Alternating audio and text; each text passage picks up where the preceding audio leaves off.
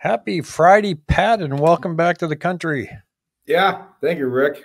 I feel like uh, uh, I think I ate enough and drank enough for the last 10, 11 days to uh, like I was going electric chair. yeah, that's the thing with cruise ships. If you're really quiet, you can hear everybody's arteries closing. So yeah, yeah, exactly. I mean, um, it was uh, you know, kind of an ill-timed trip with business. I'm just kind of, you know, obviously we're in a grind, grinding out period, but uh, booked it in May, so figure I'd go and, you know, it was uh, a little bit longer than I expected, but it was fun. Went to some different islands. So, um, you know, about, the average age on the cruise was about 78 years old, 77. wow. so, okay. So if there was anybody on the cruise that was like my age, like 59, I could pick them out of a crowd pretty quick. Just, I just had to make sure I wasn't knocking anybody's, getting anybody in front of anybody's walker or, you know, tripping over their cane. Good God. What kind of cruise were you on? So, but, uh, well, that sounds fun anyway. Um, and that means that that the boat was probably pretty quiet at seven o'clock at night. yeah, yeah. Well, I, had, I got to tell you this one story. Can I tell you this one story? Yeah, yeah. It's a, it's a great cruise. It's called Crystal Cruise Lines, and I just had to laugh. So one now try to keep this short. One night after this uh, comedy comedy show, this comedian was on there, and there's a couple right by the elevator. Guy with a beard. He's about they're probably about late mid to late 70s, and the lady was in a, one of those motorized carts. I go, right. My buddy called me the mayor of the cruise ship because I was, you know, introducing myself to everybody. Everybody, hey Pat, how you doing? Hey Pat. And I walked up these people. I'm like, oh, that was a great comedian, was it? And, she, and he kind of looked at me and he goes, and I looked at the lady and she goes, I didn't think he was funny at all. Oh. So we saw the same, we saw the same couple get on the elevator the next day, me and my buddy, right? They, she gets in the motorized cart in the elevator, and I'm sitting. I'm like, okay, we're gonna test this theory one more time with this couple. I said, uh, "Well, this is great. You're having a great, have a good time." She looked at me. She goes, "I'm not having fun at all." and then the guy, my buddy, said, "He goes, boy, the food is unbelievable. It's exceptional." He goes, "I don't think so." it was like, man, they, it was I mean, it was comical. I mean, I like talk about a grungy old. Uh, I oh, hope they weren't traveling with their kids. So oh, it was hilarious. well, sure. Well, not a whole lot went on while you were gone, uh, except for last week. Uh, rates took a big dive, and I wanted to kind of you know dive into that because um, you know I'm already seeing Pat um, agents on social media going, "Here we go, rates are coming down," and I'll tell you what by March, you're going to see rates at 5%. The real estate market's going to be hot. It's going to take off. You better buy now. Marry the house, date the rate. And I'm like, stop it, guys. Stop it. It you don't yeah. know where rates are going to be in March. And so um, I'm already seeing this. This is from the uh, Fed's Susan Collins said more rate hikes can't be taken off the table. And I like what she said here. She goes, Inflation reports this week showed a slowing pace in both consumer and producer prices. However, the recent data has been noisy.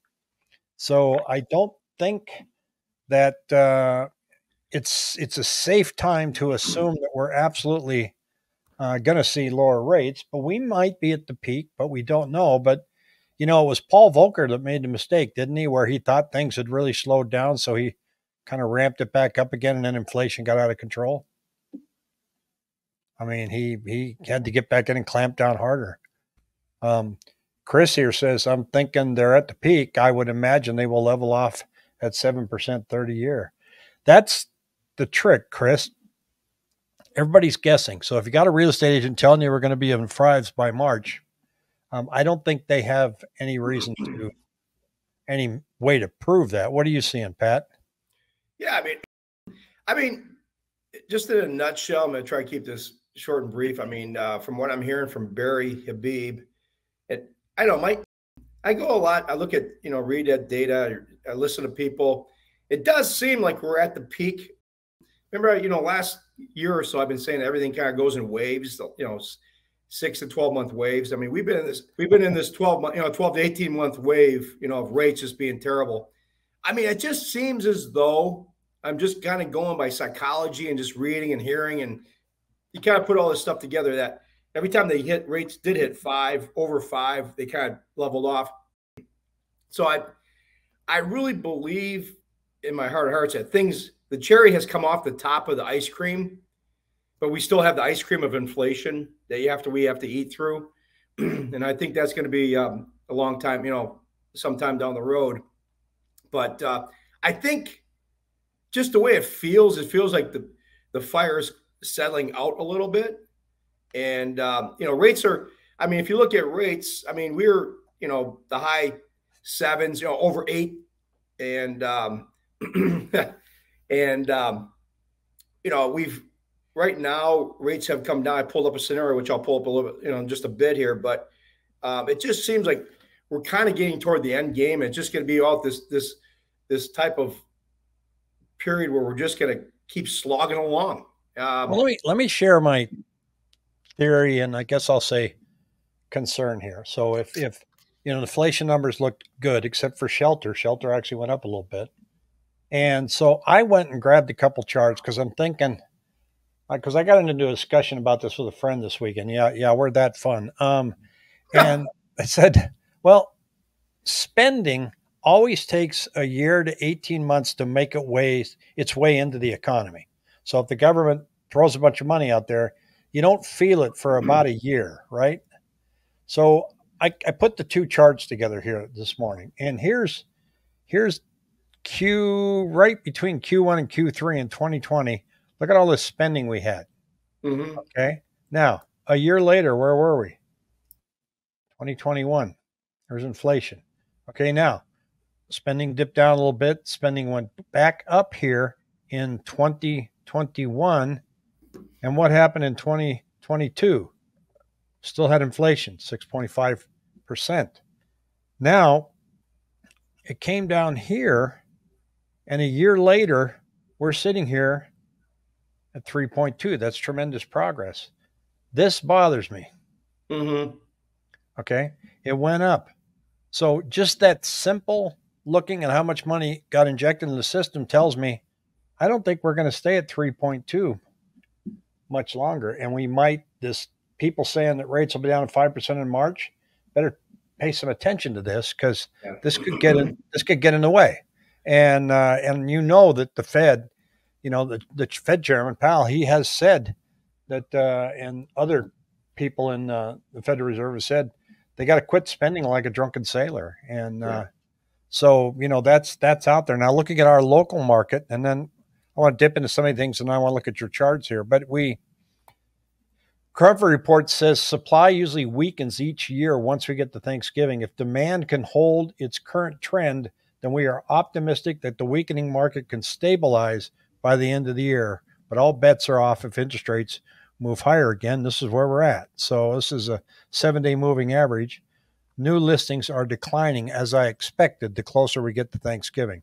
That number's not going to go up till no. January. Uh, but the sales number is still staying right where we're at. So um, we've got the gap is closed. We're at 69% instead of 62%. So, but that's still enough to add. As you can see by the ticker below, we have 16,148 homes. I still think we'll see close to 20,000 homes on the market by February, but uh, um, that's based on adding 400 a week. But new listings, uh, average price per square foot, active listings are staying flat. They're not raising the price, although real estate prices have gone up in the sales prices, but so have contributions. Closing cost contributions are almost at 10 grand right now. And we have um, some stats here too, talking about uh, all cash transactions jumped up, but I, as a percentage. But I think that's because regular finance transactions dropped, not because we have more mm-hmm. cash buyers. yeah. And and what are you seeing as far as rates and fees right now? Um. Well, here let's just uh, let's go to the rate the rate chart first. Here, I mean, um, you know, like today. we saw saw a muted day. The six and a half percent coupon was up four basis points. You know, the U.S. Treasury, ten-year Treasury is at four point four three, right around there. you know, that one Federal Reserve uh, chairman, you know, I think she kind of hit the nail on the head that we're going to see a lot of noisy data, you know, it just uh, back and forth, back and forth, back and forth. And I mean, that kind of, you kind of see that it's kind of like a choppy market. You see that at a top, and then you see those choppy markets at a bottom where things are trying to find a bottom. And um, you know, I believe you know she did nail it as far as being noisy. you know, low, we've seen the rates lowest level that, that we've seen in the last two two months. So we have seen a nice downdraft. I mean, this is we saw this. This is right now. This is October 18th, so 19th. So obviously, see, last month we've seen a good down, you know, downtrend in rates. We've seen this ceiling which is good. I mean, I take it out two years. It just seems like we are topping out. If rates do go up, I think they might go up a little bit higher, possibly. But it just seems like we're kind of toward the end of the, the end game, and we're just going to slog along here. And I think rates could float down right now. I just pulled up a rate chart here on my LoanSifter. Four hundred thousand dollar purchase, five percent down um, through NexBank here. You know, rates. I don't know if you can are you gonna be able to blow this up, or do I have to blow this up? You have to blow it up. Okay. I mean, uh, we go. got, you know, a month ago we were looking at, um, you know, eight high high sevens. Right now, you get a a uh, a rebate of about twenty five hundred dollars. That was that would have been like par or cost back about a month ago. So I mean, right now with five percent down, you can get into the um, you know, seven and three eighths for a cost of 768 bucks, seven and a quarter for $2,100. So they've dropping off precipitously, um, you know, in the last month, which is good. But I think you might see them float into the low sevens, you know, but it's going to take some time. And, um, I, you know, we're going to probably be trending sideways here, but that's kind of where we're at. I mean, it's nice to see the fact that we're not quoting, you know, 7.875 you know, or eight. Um, I think a lot of some of the retail banks were probably eight and eight and eighth. Um, so you saw a nice dip. So I mean, you look at it here, seven point eight seven five is principal and interest of twenty seven fifty five, and let's say you get it down um, to seven and eighth. I mean, you're looking at a uh, almost a two hundred dollar a month difference in payment. Well, it, that's that was enough to make mortgage applications go up last week, and it'll be interesting to see what it actually does with volume. But I don't, uh, I don't expect that to open up the floodgates. And no, I don't think I don't think it's going to open up the floodgates. I think it's going to just uh, cause people to, you know, at least, you know, not be as, cons- you know, they're because people are getting used to these uh, sevens right now. Wouldn't you agree? Well, yeah, I think so. And then, but you know, but there's some people that even though they're getting used to sevens, they still can't afford the home. So, oh yeah, yeah, uh, that's yeah. you know that that's not something that goes away goes away quickly. And I don't know where we're going to be in a year from now. Here's a. I wish I could make this show up better here, but uh, well, that didn't work. Uh, there was a comment there. It's going to make me log back in, so I'm not going to do that. There was a comment that said talking about um, rental prices that um, rental prices went down 1.4% in our market, but um, they expect it to go down a little bit further uh, because of all the new building that's going on. But then it looks like the building's going to kind of stop. And uh, if that's the case, then there went the rental declines. Rental prices start going back up. Real estate prices start going back up. It puts the central bank in a bit of a pickle again. Mm-hmm. Mm-hmm. we can't pack. That's what they mean by noisy data. And yeah. This is J.P. Morgan said, putting a snapshot of the U.S. history, how healthy it is, and what could cause prices to fall. And they say existing home sales have come down a lot, but activity has not come down because the market is struggling or a bubble is bursting. It's come down because people are staying put. That's why there's no sales. Yeah. So then they say, what scenarios would drive home prices down? The scenario rising mortgage rates will affect demand dragging house prices down. And this JP Morgan, they're saying the likelihood is low.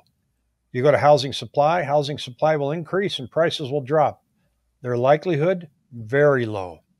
Affordable housing, A lack of affordable housing will lead to a correction. Likelihood low. There will be some friction caused by lack of affordability, said John Sim, head of securitized products research at JP Morgan. However, supply is still very tight. If mortgage rates remain high, we may see some of the gains get chipped away, but still means prices will end up flat overall for 2023 instead of moving lower. So JP Morgan's not expecting any relief in prices. Um, and we did see relief in prices from last year to this year that got kind of erased the final quarter. Uh, mm-hmm. But it's, uh, I think it just demonstrates how slow things move.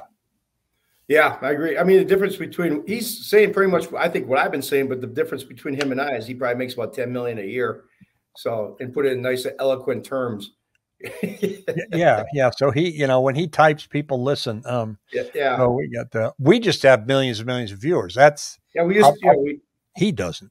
Yeah, I know. I bet you he doesn't have millions of viewers, but uh, no, I mean, I think overall, it just seems like this. Once again, we've been in a slogging market this last year, and uh, I don't see any any real change. I mean, I think people are out there that looking to buy are waiting. You know, I'm sure you know you and I have talked about this. Where we kind of feel that they're like people are waiting for some big big event. I just don't see it happening. I think we're just going to be in this. It's going to be one of these. It's going to be like a 30 year marriage. It just kind of moves along. You know, people are just they're married. You know, they're just going to hang. Well, there's just they make it try to make it happen. There's no economic data coming out in the next uh, 14 days that are going to alter it. It's it's no. pretty slow because you got Thanksgiving week after Thanksgiving. Yeah, um, you're gonna you're going to see some uh, the first week of December is when you get probably the most data, but this next week and a half, I mean, with there's going to be some volatility because the way you see volatility is there's the traders, there's nobody. If there's something happening, you'll see, me, you might see a swing because, but it's just that there's nobody there at the trading desk. Yeah. So the, the first week is when data comes out.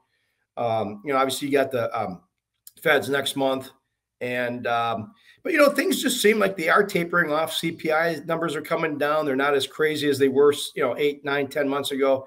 The cap, the capacity utilization rate for factories is down, meaning that they don't have pricing pressure. Uh, you know, they're not using their machinery up to you know you, you know the capacity. So you always have pricing pressure, you know, deflationary pressure there. But um, it just seems like as though that things are just kind of muddle along here. And you know, to give advice to people if they're you know people are looking for something, just uh, just do what you need to do. You know. Yeah, I saw a post. I saw a post the other day. I was on Facebook, and the agent was saying that you know we're going to see rates get down um, um, probably below six by March, and you need to buy now. And uh, um, and I just, you know, I'm like, I'm I'm glad you feel that way. I really am. You know, knock yourself out. But I'm just saying to folks, just just watch your numbers and don't purchase because an agent is telling you rates are coming down. Yeah, it, just look at the data, follow the numbers, look at the inflation data, watch what the central bank is doing, watch what traders are doing, and make a grounded decision based on the numbers you're seeing. Now, one decision that you can make if you're selling a house right now, you know that the Friday after Thanksgiving is the best day of the year for to host an open house. Is there are people here visiting from Minnesota, Michigan, Wisconsin, and you know after Thanksgiving, not everybody goes to the mall. Sometimes they go out with their family from out of town and go, well, let's look at open houses in the neighborhood. And it's the highest traffic day for open houses. And so for agents and for sellers, uh, that's, you know, dust off your open house signs because that's, that's a good one. Um, and I think uh, there's no reason open house traffic has been pretty good lately. Yeah. Uh, people are looking and waiting for something. So I bet there's a few families though that don't want to see Aunt Bertha move down here. They want her to get out of town as quick as possible. Yeah, yeah. They don't. Uh, that you just take Aunt Bertha to the mall then. Um, so you know. So here's our rent growth. Um, shows here Phoenix rent growth over the last 12 months. I'll see if I can blow this up a hair here. Um, the U.S. is down 1.2 percent. Arizona down 3.8 percent and Phoenix down 4.7. So that's uh, that's encouraging. Um, this is from Tom Ruff. I think that, uh, but again, you know, you look at rent prices and they go, "Wow, it's down," and then you look at the actual math and it's it's down twelve dollars. Um, so you know, it's going to be a while if rent prices get reasonable. Chris I'm thinking the same. You'll see demand come back somewhat early in the year. You know, Jackie here, I, Jack, you got a dollar? Uh, she's not saying rates are going to get below 6.5, but she's right. If it does, gets below that, then watch out. But I'll tell you what, Jackie, if they do, central bank's going to come back in and put an end to that party. Well, I think the future you have to look at not what the Fed. I mean, once again, with the federal, every time the Federal Reserve does something, it's always baked into the market about three to four months ahead of time. You uh-huh. just have to watch them. You got to see how the markets are trading day to day, week by week, and they'll kind of tell you what what's going on. You know, three to four or five months down the road. I mean, yeah, they're talking about it. I can see my take on things are is that you know we saw the the short term peak in rates. They're going to probably mull around here in the mid to high sevens, and I think that you know do they you know the scenario I see is happening to float down to low sevens, kind of hanging around there for. I mean, we're going to see. Hopefully, we see this kind of gradual versus this drop. You know, this because that that's creates volatility. Yeah, there's no reason for them to get in there and get carried away. Here's our the supply and demand. Jackie says, okay, six point seven five, but not lower. Here we are at supply and demand. When these lines cross, prices come down, and they still have a ways to go. So we're not seeing um, that happen yet. They haven't even kissed yet. So like they did last year. So this is when prices came tumbling down and the iBuyers were dumping like crazy. But it's a busy chart when I roll it over there. but uh, so we're not we're not there. I keep looking at it, uh, not quite every day, but close. So we'll figure out what's going on. I think looking forward, we have no, like you say, big reports coming. It's going to be light trading days. That uh, I think the Mortgage News Daily had a head sign headline that says, "Okay, see you at Christmas." Yeah, um, you know, yeah. it basically said that it's like, okay, they're gonna take the next week and have two weeks off, you know. So yeah, that's pretty much. I don't know. That's pretty much what we're gonna see. I think it's just gonna muddle along here, and I mean, obviously, there is talk. Right, you know, I've seen some talk about how um, the Feds. You have probably seen this where they're saying they're going to probably see three or four rate cuts tomorrow, you know, next year, middle to end of next year. Who knows? Yeah, and they say they say probably, and I think that's um, the most likely scenario, unless like that first chart I showed you that showed our spending surprises everybody with an uptick in inflation. We're at 3.2. You know, you see any indication that that's starting to turn around, and they see, you know, in the weeds, they see those numbers. Um, they they might surprise us. Yeah, with a 25 basis point uh, raise, and so that would really throw the markets off. Yeah. So, I mean, it could happen very quickly. We could come in in December and everything will be just fine. Where now we're at 3.1. Everybody, oh man, this is great. Yeah. Rates are coming down. And then all of a sudden in January, a number comes out. So, um, then, you know, then here goes, there goes Santa Claus, right? I mean, it's just like if, if, if that 3.2 turns into 3.1, and the next thing you know, it's 3.4, the market's going to go nuts yeah. they're just going to throw the baby out with the bathwater and rates will go back up. So those I, that that's what you should be watching for. I I think. Yeah, I mean, I I don't think you know the my general my general feeling is this is just me talking, just reading and seeing and talking to people. Is that I and listening to you know the, the financial news. I just don't see the the Feds are not going to be the first blip that's going going down. They're they're going to hold pat for a while because they do not want to look like fools again. And you're going to have to see sustained period of time that okay, we're getting inflation, but I inflation is there. It's still it's going to be it's it's like a wart. It ain't going to go away for a while. But um, you know, we, there's also talk about these commercial buildings. I, obviously, I was watching this one financial news network.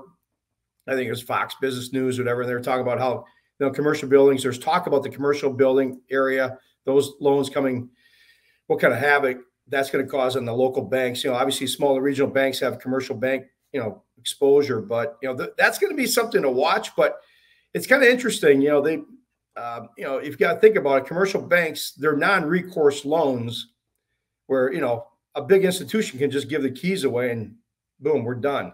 Whereas a home loan, a home loan is a recourse loan. You're responsible for that payment, basically. So I think all the talk about the commercial, res- it's going to probably spill into the residential a bit. I mean, but residential is still there's still going to be that underlying demand. I think banks know that, you know, they're not that stupid that, uh, you know, it is a, kind of a separate market, even though it's affected by each other, you know, from a lending standpoint. But once again, commercial banks are non-recourse, and you know you have a two hundred fifty million dollar loan and say, all right, and most institutions are they're just going to write that off. You know, just yeah, walk yeah, away. Yeah. So and some, know, it's going to be reset. That that number is going to be reset. Somebody's going to come in and buy a two hundred fifty million dollar building for 60 million, 70 million, and be back at it again. Well, it's not something that's going to roll into a single family housing either. No, I don't. I don't see. I mean, it's gonna it'll probably have an effect, you know, to a certain degree, but I, you know, I I don't think it's gonna have as much of an effect as I don't know. That's just my feeling. I was we we had a comment here on the Cromford Market Index, and that's why my eyes are darting over here. I'm looking for the you know I want the one chart that I can I can show because the Cromford Market Index has been a very reliable economic um, predictor of of activity and prices, and this is it here, Pat. And uh, you can see that you know we have been going down, um, but it's been going down actually percentage wise quite remarkable. Um, so we're at 113, and we kind of peaked out at here at 161. So but you can see what happened last year as it started to go down in February and then March and went down here. And then out here is when we saw the price cuts. Um, so it isn't a big drastic drop right now. So I'm not expecting any price cuts anytime soon. Jackie said holidays as they are, are always great for buyers. I'm not saying that to push anyone. If you can afford and you're ready, there might be some good deals in December. Yeah, the holidays are good for buyers in that there's fewer buyers. Yeah. That doesn't mean it's bad for sellers because the only buyers that are out there are the ones that are looking because they really want to move or they have to move. So sellers are the same way. Yeah, yeah. They're like, I got. I, yeah. I've the last 23 years, I've always, I've been a big proponent of people like people that have been looking last, yeah, last several, several years. I've been telling, I go, the best time to buy is November, December, because it's pretty, it's pretty simple theory that people really are not looking to buy or sell. I mean, you, if you have a, you might have a seller that's really desperate. you might have a buyer. They might get, obviously, with this market being slower as we have, and we're getting seller concessions, you might see a more of a pronounced, um, you know, uh, deal if that makes sense on a house. Yeah, because, yeah, yeah. You know, I think it's gonna be November and December. Like you said, usually has been the best time. I agree with Jackie 100 percent because it's like you can get you can kind of snap somebody a deal away from somebody when they're the other people are not looking. But this might this period might be even a little bit more pr- pronounced than that than that than the last couple of years because of this market that we've had the last you know 12 to 18 months. Well, and then there was the arguing about elections, and then the comment was made that you know this administration knows that they can't win if inflation is still raging, so they're going to have to stop inflation. And so my answer to that again is this chart. Well, it takes a year and a year and a half for that spending to wake, make its way into the market, and they already spent it. So it's too late. So if they really wanted to keep inflation down because there's going to be an election, they should have stayed down here. Yep. In spending, but they didn't.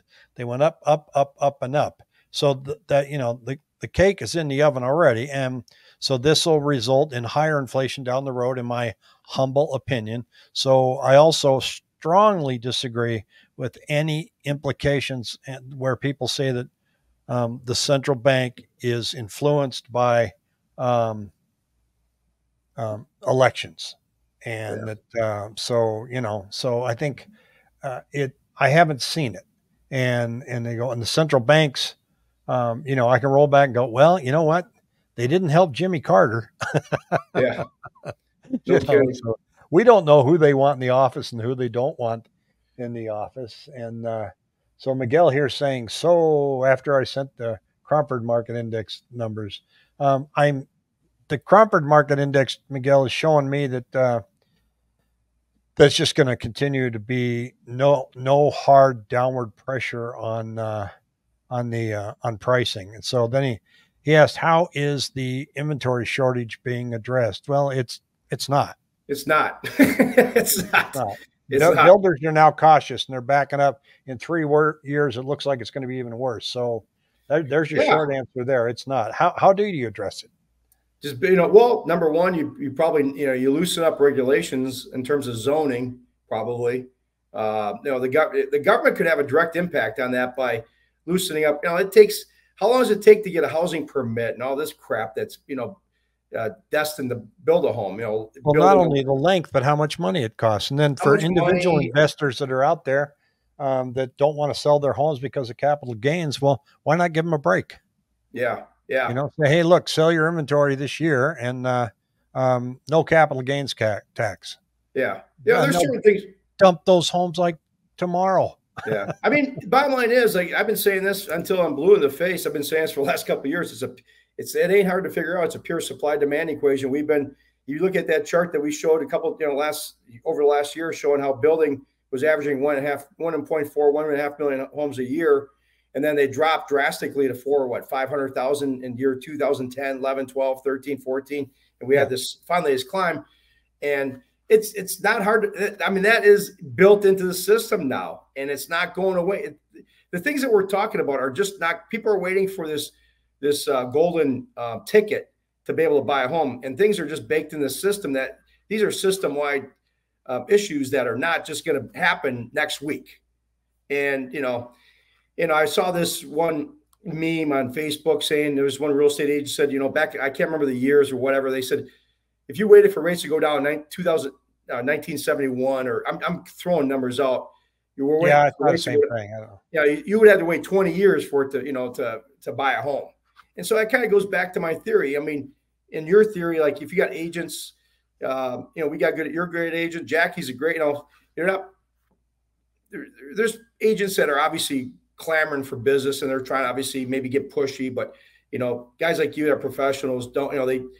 You look at what people are looking, what they need to do, what they want to do, versus you know, you know, you're you're looking for the client. You're look, you really do. You guys look out for the client, but there's a lot of stuff out there that uh, just says everything is built into the system that we're this is not going away for a while, and we're in a supply demand. You know, it's unfortunate, but it is what it is.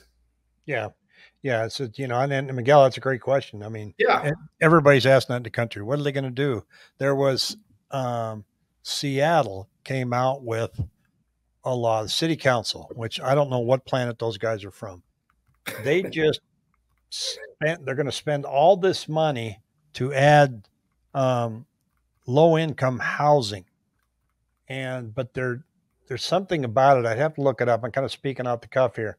But when you really look at the details, it's going to make the situation so much worse because really? they're going to be pulling inventory off the off the market. Uh, rent they're going to they're putting in like rent controls. So now the investors are going to say, "I'm out," you know, and it's just the city council just you know they they step stepped in it again big time. So I think uh, you know we're from the government, we're here to help doesn't always doesn't always work, but they're it's it's like anything when you look at it. It's very frustrating being a constituent sometimes. And you say, well, if you would just do this, yeah, it's like for Social Security, right? Social Security is in really tough shape. We'll take the cap off the hundred percent cap. You know, right now you you pay seven percent Social Security tax until you reach a income of hundred thousand. It goes away. Well, get rid of the cap. Just say there is no cap and raise the retirement age from 67 to 69. Boom, you've solved the problem, but nobody will touch it. Housing is yeah. the same way. Give some tax incentives for investors to move some of their inventory or put them on the market and shorten the amount of time and money that it takes in the permit process for builders. You've solved the problem. Yep. So, um, so it's, uh, um, you know, the average American, you know, is actually not doing too bad. The first time home buyer, Miguel, is the one that's that's that's feeling it. Um, I think I think I was saying about this too. Uh, just to jump in quick, I mean, the overall average person looking to buy a home, that you know, with rates coming down like they did recently, it shows you that obviously the payment can change by two hundred dollars if they if they get down even further. You can you can change your payment pretty quickly if rates did drop. They can drop it by five or six hundred dollars. You get inflation out of the system. You know, inflation is costing people seven to nine hundred dollars a month those two things combined, I think the bottom line is the average person is just feeling pinched. Mm-hmm. If there's no, there's no, they don't feel. There's just this pinched feeling. And yeah, three you know, percent sounds good, but not when you add it to the six percent that was already there and the seven percent that was already there. Um, but uh, you know, so um, it's um, it's it's hard. It's hard to go to the grocery store. They can do nothing about it. Fortunately, I'm a homeowner and well off, thank God. But it sucks to see so many people struggling simply to afford a home. Oh, yeah, yeah, it's fun. I, have got three boys. I wish I could get them all into a home, but it's uh, it's tough.